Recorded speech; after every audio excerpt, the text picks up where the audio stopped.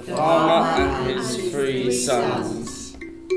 There once was a farmer who had three sons, and however much he wished for a daughter, he and his wife couldn't conceive one. The sons grew up working on the farm. As the years passed, the farmer became bitter towards his sons and hardly spoke to them, but instead worked them very hard. All their work made the farmer lots of money, and he became greedy.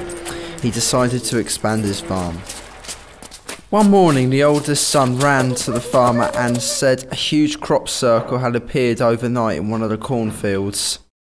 The farmer, the mother, and all the sons ran to the cornfield to take a look. When they arrived, they saw the giant crop circle and standing in the middle, a tall cloaked stranger standing in the centre of the field. He floated over to the farmer and spoke. This is an ancient and sacred burial ground, and if you choose to build further upon this soil earthling, I shall curse you and your family. With this, the clouds became dark and the rain poured and the stranger disappeared. The farmer chose to ignore the words of the stranger and forged ahead with his plans to create a larger industrial farm.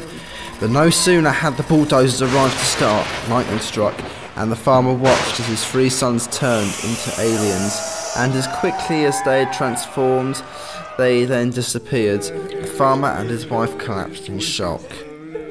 Days, weeks, months passed. The farmer could not understand what had happened. His wife cried a river of tears until she had nothing left. Farmer decided to build a boat and then sail for 72 days until he reached an icy land. The farmer had brought with him his wedding ring, a knife, some food, and water.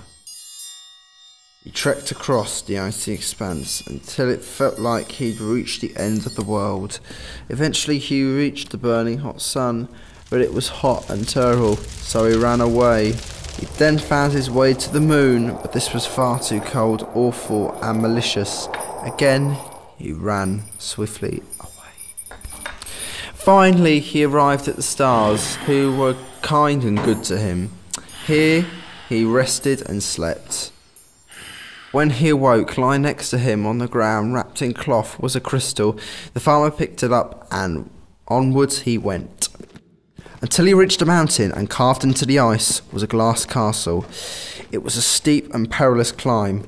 When he finally reached the door, he discovered it was locked shut. He knocked. There was no answer.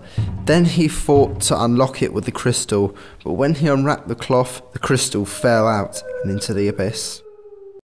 It worked. The door opened and a voice bellowed down the hallway. What have you come for? I've come to save my sons. They will return soon to recharge, but be warned as aliens they will prey upon your human flesh. In front of the farmer was a large table covered in pipes and large sockets. The farmer looked down confused at what to do. The lights flashed and the farmer ducked under the table. The farmer then heard screeching. The aliens had returned. They plugged themselves in, and as they did, lightning struck. The aliens' outer shells broke apart, and the farmer jumped up and shouted, I am your father, I am sorry, and I have come to take you home. With that, the curse was broken, and the aliens returned to their human form. The farmer and his sons went joyfully home, and life was well and happy once more.